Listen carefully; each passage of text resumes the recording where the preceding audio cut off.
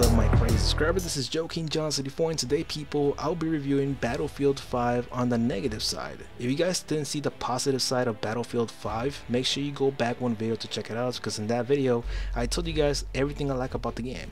So now we're going to be talking about the bad side. Hopefully some of you guys don't dislike me after this, but I know it's gonna happen. So anyways, first things first, of course, this is one big problem in the game that kind of kills immersion, the woman in the battlefield. Come on, man. We all know this didn't happen in the actual war. Kind of kills the immersion, and it just doesn't belong here. It feels like it's a fantasy game made up. But for some reason, EA is trying to say like, no, this is authentication that this actually happened in World War II. They keep pushing this agenda, and I'm like, no, I know what I read in the books. I graduated from high school. I know what I read. It did not say anything about women in the battlefield.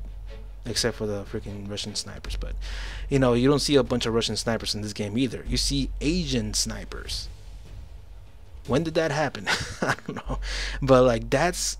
I'm telling you, like, it kills immersion. It kind of does. I feel like I'm just playing some fantasy game, like I said. So, it is not. It doesn't feel like World War II at all. That's my biggest problem here in this game. Um, another problem that I do see with this game has to be the revive screen. If you guys have not, you know, experienced the revive screen, it kind of feels like uh, Battlefield is rubbing into your face, like, hey, you died, you know, so now you have to wait for someone to revive you. And the thing is, in the Battlefield series, anybody who uses medic do not play as medic. I'm pretty sure some of you guys don't get me, but like, I'm just saying, nobody acts like a medic. Nobody tries to revive you at all. And you guys saw it on my live stream. I had like several medics pass next to me from different squads, even my own squad, and they don't revive me. There's like no enemies in front of them, and for some reason, they don't revive their own teammates. I don't get it. I still don't get it since like Battlefield 3, but that's how things are. But somehow EA is trying to push us to like, hey, you know, let's see if they actually do revive their teammates. Like it's not gonna work because that's how the community is. You know, it's never gonna work. So maybe like one game per 10 games, you will get revived by a teammate. That's how lucky you gotta get. One game out of 10. So um, that ain't gonna work EA. Stop pushing this revive screen. Return it to the overlook view of the map. That's a lot better. Just how Battlefield 1 had it, that's how I wanted to get, you know. That will be better for this game. So uh, another thing that I want to mention guys is the weapon selection. It looks like it's minimal again because I did play Battlefield Hardline the beta.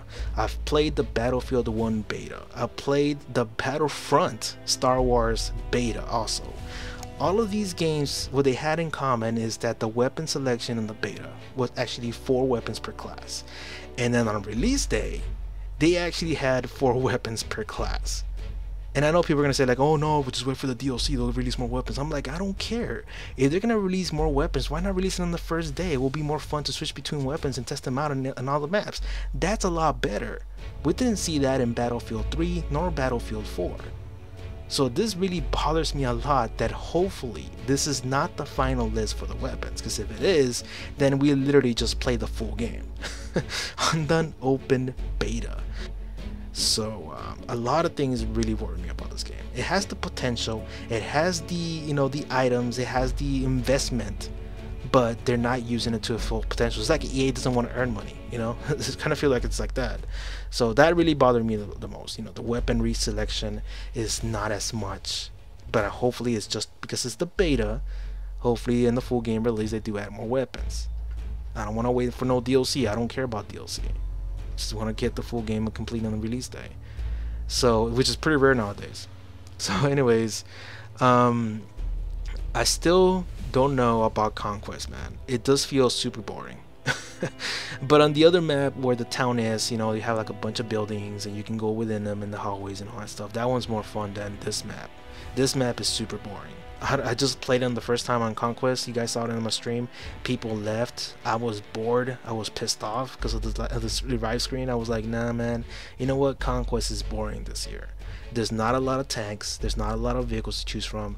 And it just doesn't feel like Conquest. Something's missing. I feel like something's missing. That's why I don't like Conquest this year. So I'm going mostly to Grand Operations, where it's mostly like gunfights and gun skills. You know, it's all about guns in Grand Operations, which I like. So um, if I wanted to go into the war zone, it will be Grand Operations. Like I said in my previous video, Grand Operations will be the place to play if you're looking for a lot of kills and a lot of you know gun to gun fights. That's the best place.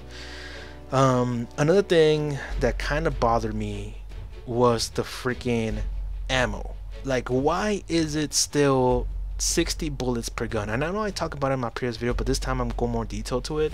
Like I said you know 60 bullets ain't enough for a rushing move or a flanking move or to take out a bunch of enemies a big wave of enemies. Like it's not possible.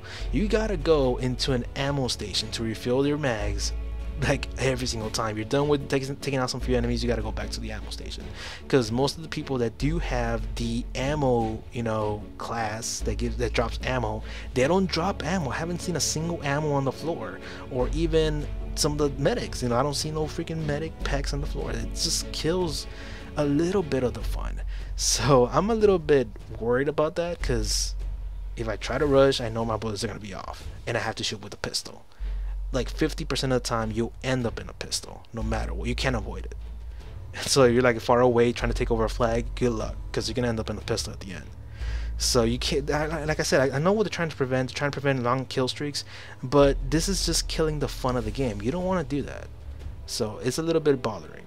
So that is it guys. That's my that's what the things that bother me the most in this game. They gotta change in order for it to be fun. So uh, you guys got your own opinion? Leave it in the comment section and I'll see you guys later. Subscribe for more for more Battlefield 5.